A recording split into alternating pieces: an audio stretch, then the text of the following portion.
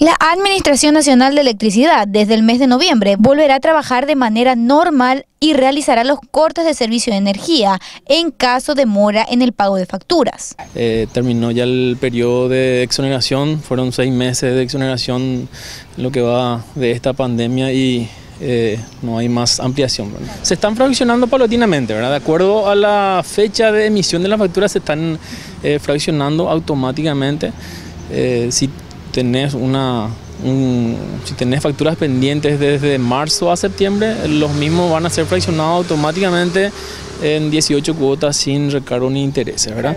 Eh, eso en cuanto a las deudas eh, durante la pandemia. Ahora, anteriores a la pandemia también, si hay gente que tiene deuda anterior a marzo, eh, puede acercarse a hacer un tipo de fraccionamiento, ¿verdad? Porque le favorezca, ¿verdad? porque para que sea más liviano, ¿verdad? porque a partir de noviembre eh, ya vamos a empezar nuevamente con los cortes y demás. Por el tema de la pandemia, la ley de la emergencia sanitaria, eh, se decidió, eh, uno, flexibilizar un poquito el pago, el pago y otro, el tema de los cortes que venimos haciendo por falta de pago, no lo hicimos en todo este tiempo de pandemia y según las informaciones así extraoficiales que tenemos, en noviembre ya iniciaríamos, ¿verdad?